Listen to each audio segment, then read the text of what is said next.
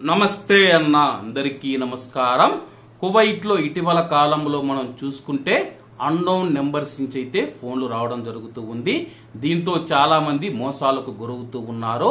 అలాగే కువైట్లో చాలా రోజుల నుంచి మనం చూసుకుంటే కువైట్లో ఫోన్ నెంబర్తో పాటు ఆ యొక్క ఫోన్ చేసేటప్పుడు ఆ యొక్క కాలర్ నేమ్ కూడా రావాలని చెప్పేసి ఇప్పుడు మనమే కొత్తగా ఎవరికైనా ఫోన్ చేస్తూ ఉంటే రిసీవ్ చేసుకునే వ్యక్తి ఎవరైతే ఉన్నారో ఫోన్ వస్తూనే ఫోన్ నెంబర్తో పాటు అతని యొక్క పేరు ఉండే విధంగా అయితే చర్యలు తీసుకోవాలని చెప్పేసి సమాచార మంత్రిత్వ శాఖకు చాలా మంది అయితే అభ్యర్థించడం జరిగింది.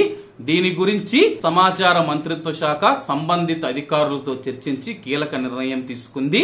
కువైట్లో ఫోన్ నెంబర్తో పాటు కాల్ చేసిన వ్యక్తి పేరు కూడా స్క్రీన్ పైన ఇకపైన ప్రదర్శించబడుతుంది. దీని ప్రకారం Kuwait communication and informational technology commission call గ్రహీత స్క్రీన్ పై నెంబర్తో పాటు కాలర్ యొక్క పేరును కూడా చూడవచ్చు.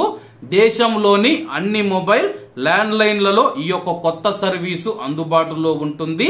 స్థానిక టెలికమ్యూనికేషన్ కంపెనీలు మరియు సంబంధిత ప్రభుత్వ సంస్థల సహకారంతో ఈ సేవను అభివృద్ధి చేసినట్లు అధికారిక యంత్రాంగం స్థానిక మీడియాకు తెలిపింది. టెలికమ్యూనికేషన్ నెట్వర్కుల కాలర్ నేమ్ ఐడెంటిఫికేషన్ జాబితాలో పేర్లు నమోదైన ప్రభుత్వ సంస్థలు ప్రభుత్వ రంగ సంస్థలు మరియు ప్రైవేటు సంస్థల నుంచి వచ్చే అన్ని కాళ్ళ సమాచారం ఉంటుందని చెప్పి తెలిపింది.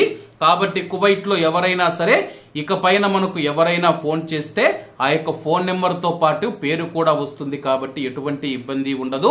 ఎవరైనా మనకు తెలియని వారు గుర్తు తెలియని వ్యక్తులు మోసం చేయాలని ప్రయత్నించినా సరే దానికి సంబంధించిన పేరు ఉంటుంది కాబట్టి ఇక పైన లో కొద్దిగైనా సరే మోసాలు తగ్గే అవకాశం ఉందని చెప్పి అధికారులు తెలుపుతూ ఉన్నారు. కాబట్టి కువైట్లో ఉన్న మన భారతీయులు ఇప్పటికే ఈ యొక్క అప్డేట్ అనేది మీ యొక్క మొబైల్ ఫోన్లలో వచ్చి ఉంటే కామెంట్ రూపంలో తెలియజేయాలని కోరుకుంటూ అందరూ బాగుండాలి అందులో మనం ఉండాలి. అందరికీ నమస్తే అన్న. జై హింద్.